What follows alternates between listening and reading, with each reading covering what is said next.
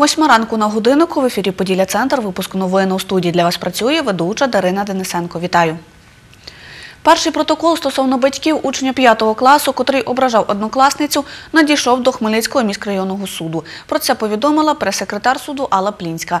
За її словами, підставою притягнення до адмінпорушення стало систематичне порушення дисципліни сина. Нецензурна лайка в адресу однокласниці, удар підручником по голові школярки і удар в спину м'ячем. Матері неповнолітнього ставиться у вину адмінправопорушення за частиною 3 статті 173 і 4 Кодексу України про адміністративні правопорушення. Її санкція передбачає накладання штрафу на батьків від 50 до 100 неоподаткованих доходів громадян або громадські роботи на строк від 20 до 40 годин.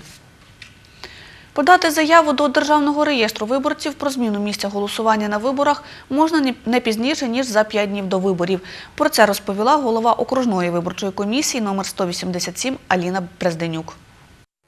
Також до заяви прикріпляєте ксерокопію паспорта, е, перша, друга сторінка прописка, і також прикріпляєте документ, який е, мотивує е, необхідність зміни вашого місця голосування. Тобто це може бути відрядження, це може бути довідка якась з роботи, це може бути, якщо ви член комісії, посвідчення про те, що є ви членом комісії. Цей перелік не є вичерпний, але ви маєте мотивувати, чому ви змінюєте місце голосування.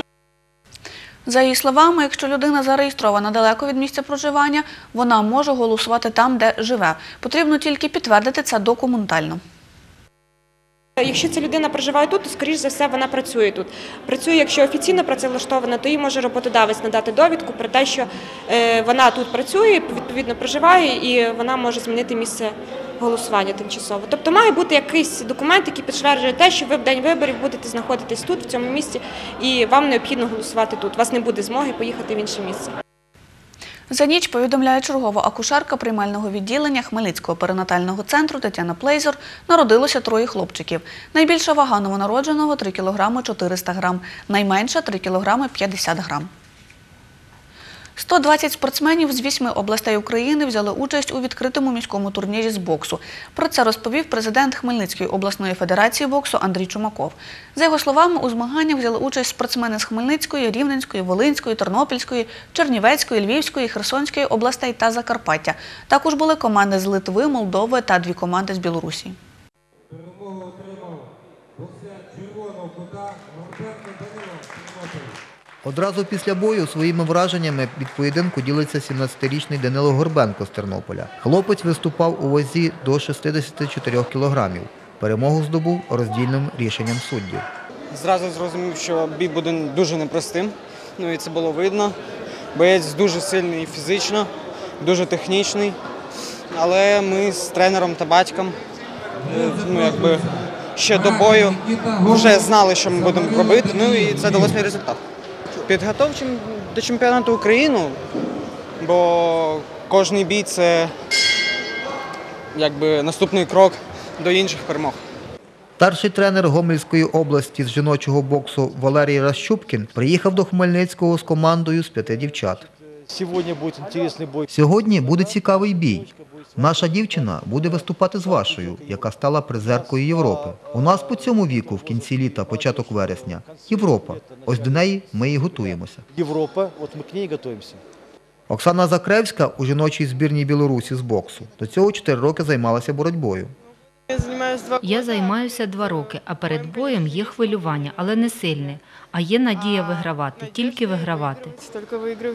Оксана Гринишина з Чемеровець приїхала на змагання підтримати родичку. Сьогодні прийшла підтримати Сашку Джигун, наша чемеровецька боксерка, займається боксом вже другий рік. Вона Наша родичка і так дуже гарна дівчинка. Дев'ятирічний Дмитро Гринишин провів бій з юним спортсменом з Литви. Було важко, але я добився м'яти і переміг. Але ну, він приїхав за кордоном, йому дали нічию, бо він, бо він не зря сюди їхав. За словами президента Хмельницької обласної федерації боксу Андрія Чумакова, найбільше учасників 47 спортсменів виступили за команду Авангард. Проводимо перший е, відкритий, перший відкритий міський турнір е, з боксу серед е, боксерів всіх возрастних груп. Ці змагання ми вирішили провести на призи заслуженого тренера України Чумакова Анатолія Миколаєвича. Е, з ініціативи його учнів, яку підтримала міська рада і наша федерація. Як розповів Андрій Чумаков, 11 кращих спортсменів змагань отримали грошові винагороди еквівалентним 200 доларів США. Михайло Жила, Віктор Кривий. Новини Поділля Центр. Це була остання інформація цього випуску. Наступний дивіться вже о 8.30. Побачимось.